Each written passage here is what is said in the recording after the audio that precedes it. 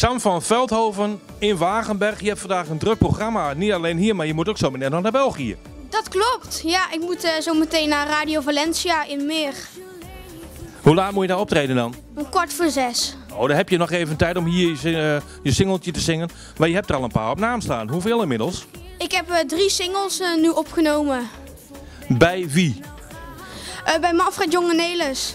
En wat, is Manfred, Jonge- wat betekent Manfred Jongeneders voor jou? Ik zal de vraag niet al te moeilijk stellen. Maar jij bent, hoe oud ben je? 12. Kijk, wat betekent Manfred Jongeneders voor jou?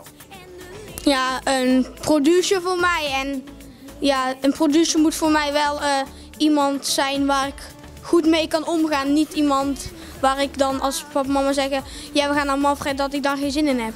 Nee.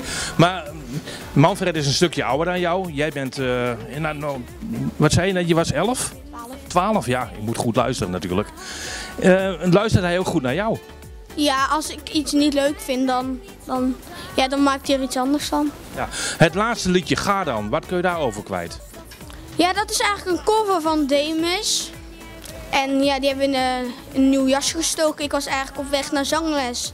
En toen kwam ik op het idee eh, om hem in een nieuw jasje te steken. En zo is het eigenlijk een beetje gaan lopen. Ook een hele leuke videoclip erbij laten maken. Dankjewel. Ja, wat kun je daarover kwijt? Waar is die opgenomen dan? Hij is bij vrienden van ons opgenomen in Rukven. Oké. Drie singles op naam. Wat ga je nog meer doen? Veel optredens en volgend jaar hopelijk weer een single. Populariteit die stijgt in top, blijkbaar. Ja, dat klopt. Oké, ik wens je heel veel succes en we spreken elkaar nog heel vaak hopelijk. Dankjewel.